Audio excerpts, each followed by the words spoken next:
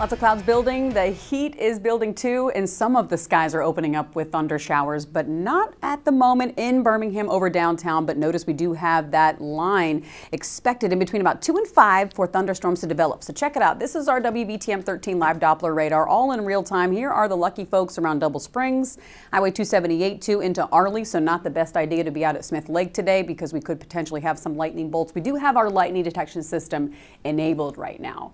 We just aren't seeing any with that particular particular cluster. From Pelham, areas of I-65 and 119 getting a good soaking. A lot of folks around Highway 31 headed towards Columbiana are getting a bit more too. But notice as we zoom out, we see a lot less detail with the satellite and radar composite as opposed to our WVTM 13 live Doppler. So we do give you that closer inspection, but this shows that we have a whole lot of humidity coming up from the south, but we don't have anything really well organized. We're keeping our eyes closely on a couple of tropical features. Certainly one a little closer to home at Puerto Rico, impacted by a low pressure center that's not expected to develop into anything tropical, but it will be a big rainmaker for southern Florida and areas of the Bahamas.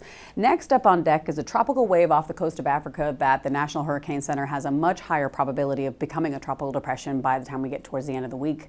So for us right now, we're seeing spotty showers on our radar in our northwest Alabama counties. That's why I like this forecast model. It still shows spotty showers a possibility for all of us through at least 8 p.m., but disorganized. We lose all that green on the map as we head towards tomorrow morning, but by tomorrow afternoon, this stalled out boundary starts to ignite a few more thunderstorms in the afternoon between about 3, maybe even holding on through 6. Sun goes down.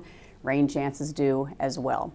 Right now, temperature is 87 degrees. We have a hot wind out of the west at 6 miles per hour, and it's pretty muggy out there, enough that it brings our feels like condition to 91 degrees in Birmingham. It feels like 95 in Tuscaloosa. It feels like 97 degrees right now in Fayette. So the feels like condition, probably best to be out there on the mountain bike with a little bit of that breeze. But keep in mind, we have a chance for a thunder shower to develop. A lot of folks will see it more widely scattered when we get to the hottest part of the day.